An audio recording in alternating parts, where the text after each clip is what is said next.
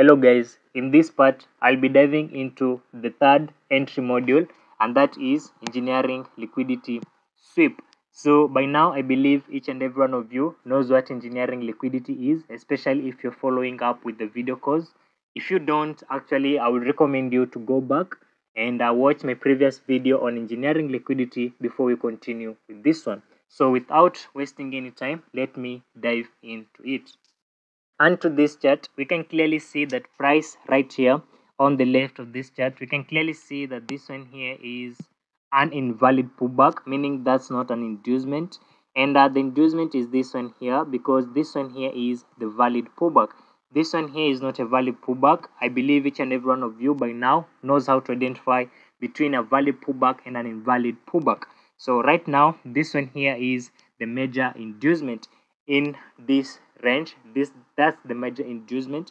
And you can clearly see that price reversed or retraced, took out the major inducement and later reversed back again and broke past this swing point confirming this one here to be a valid break of structure and by the way all of this happens inside the range you can see our low is still protected all right so right here you can see price has broke structured the upside meaning now you're currently in a new trading range.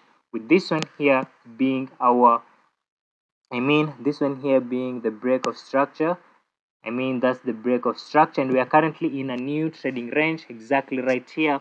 With this one here being the low of our range exactly here this here is our low of the range and of course this one here is the high. Why? Because after identifying your range it's usually identifying the major inducement. That's the next step. That's the major inducement exactly right there and you can see price has reversed. Took out that major inducement and once that happens this one here of course is a valid swing point. As you can see, the major inducement is taken. This means now we have just confirmed our swing point high or our trading range high, which is this one here. So that's our trading range high. So now we have our range exactly right here. We know our high and range and our range low. So starting from the low all the way to this high, I can plot the fib exactly right here. So now once you have identified your range, after identifying your major inducement, the next step is usually marking the POIs. And we all know the POIs, when you're marking the POIs, we usually start with the order flows because the order flows are primary and the order blocks are secondary. So on our range extreme, I can clearly see this order flow right here. It's unmitigated, exactly right there. The order flow is unmitigated.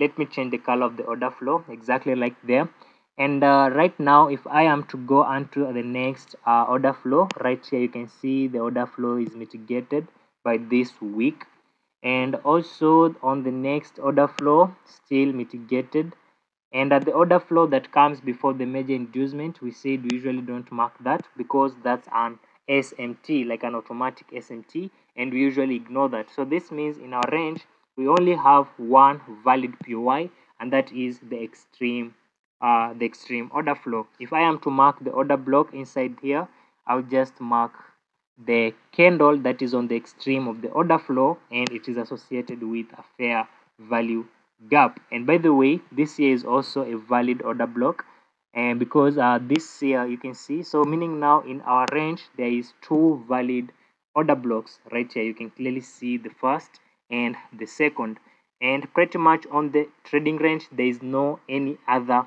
POI that is valid.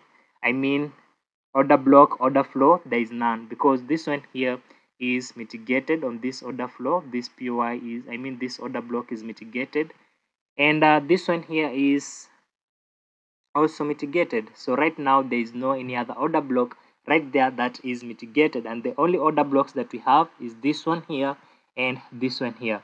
We said that the one or the valid order block that comes immediately after the major inducement is usually the decision order block and this one is the extreme order block. And all of these order blocks are inside our extreme order flow. So right now which one is valid or which one do we consider to take the trade from? We usually consider placing the trade from the order flow and not the order block.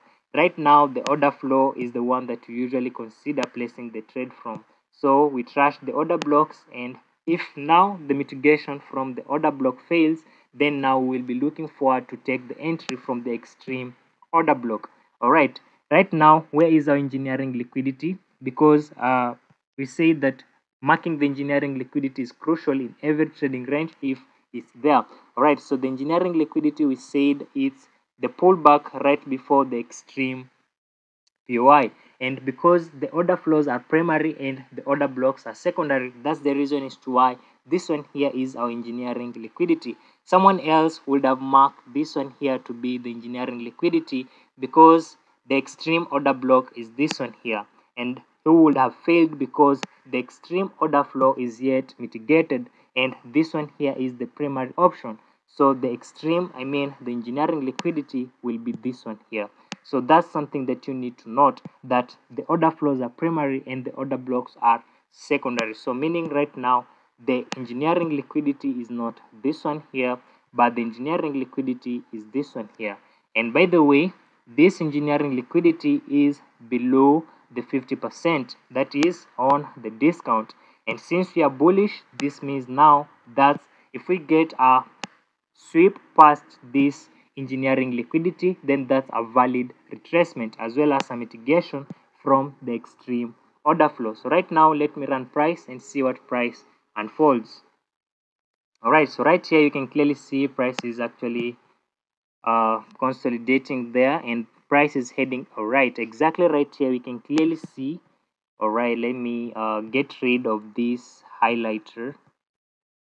All right so right here you can see this one here. Price has swept the engineering liquidity very clearly there. Swept i mean it wicked and reversed. So all of these are just indecision candles. I want a break past this candle right here. If i get a break past that candle then now i will be exactly right here. You can see that's a break on the sweeping candle. We got a break past the sweeping candle. So the greatest entry or the best entry would have been right here. On this exactly after price has made that break. So right now all right. So let me just here you can see that's the best entry stop loss below here and target profit uh, i mean right here so you can see the target profit on the external liquidity. Stop loss a few pips below our range. You can be aggressive and place it there but i usually recommend it a few pips below there due to liquidity sweeps and stuffs. So right now let me run price and see what price unfolds. And exactly right here you can see price eventually. All right let me get rid of this so that we can clearly see price is actually consolidating at the moment. So right now let me extend this. Right so let's see if price eventually respects the sweep or eventually stops us out. And exactly right there price is heading towards our external liquidity. And i'm pretty hoping that price will eventually hit our tp and exactly right there you can see price is heading towards the external liquidity and boom price made it out to the external liquidity. So you can see right here after price has swept the engineering liquidity price came again and swept the liquidity resting below here. So if price if you just placed a stop loss below there you can see price would have stopped you out. That's the reason as to why placing your stop loss a few pips below there that's the best option.